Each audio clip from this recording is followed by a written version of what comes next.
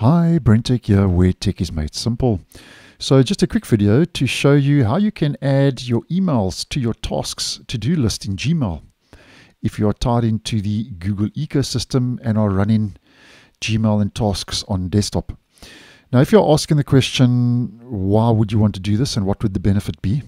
This is um, especially handy if you are dealing with a lot of emails, so a cluttered inbox and what it can do is tasks then lets you turn your important emails into to-dos instead of having a whole cluttered inbox. And this can help you stay organized and basically ensure that nothing gets missed.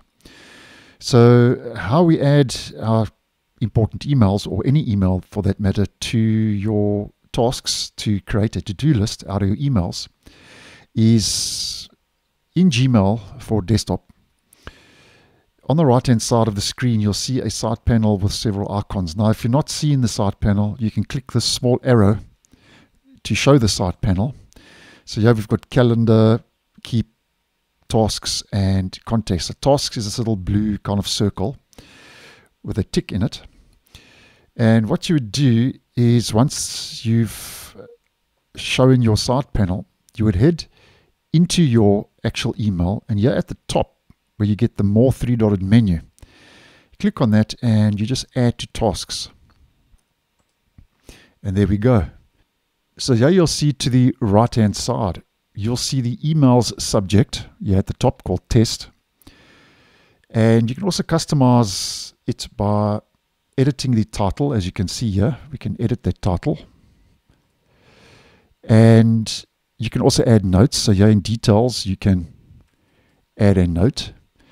And you can also set a due date. So you've got today, tomorrow, or you can click on date and time, and then obviously that can take you over to your calendar as an example.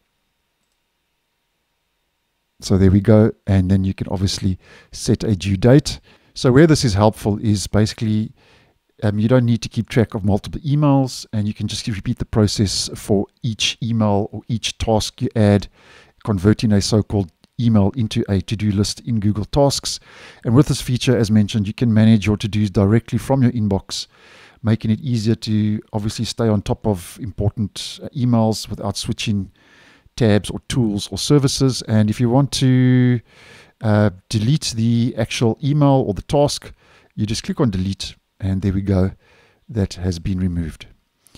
So thanks for watching and I'll see you in the next one.